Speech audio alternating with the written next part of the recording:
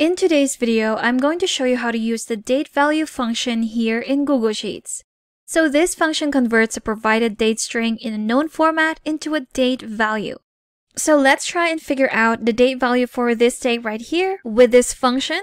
Start with your equal sign, type in date value, or you can select it right here.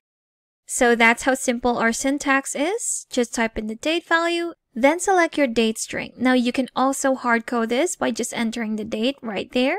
Or you can do a cell reference by just selecting your cell. If we press enter, there we have it. So we have the date value for this date as 45568. So let's try and drag this down with our other dates right here.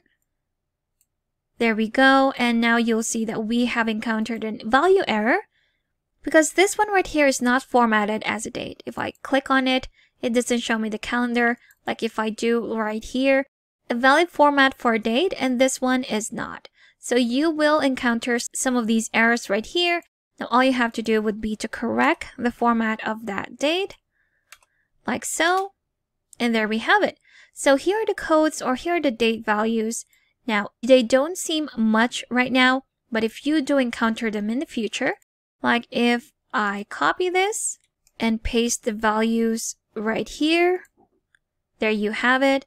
So if I try and format this into a date format, if we go to format right here, select date, there you have it. We have converted those date values into dates. If you double click, it's an actual date.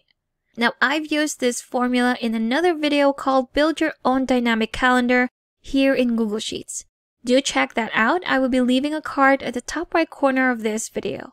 Now, in my example dataset right here, what I want to do is to sort this dates in ascending order where I want the latest ones at the top.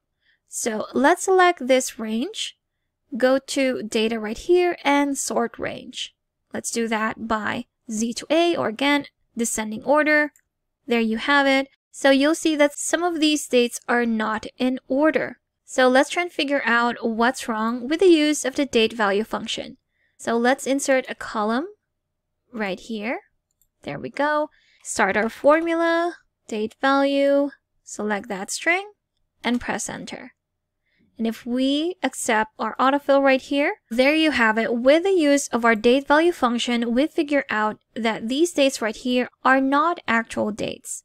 So if you try and check out the date, this one says June 31st. There's not really a 31st for June. If we change that to 30, there you have it. It gives us the corresponding date value for that date.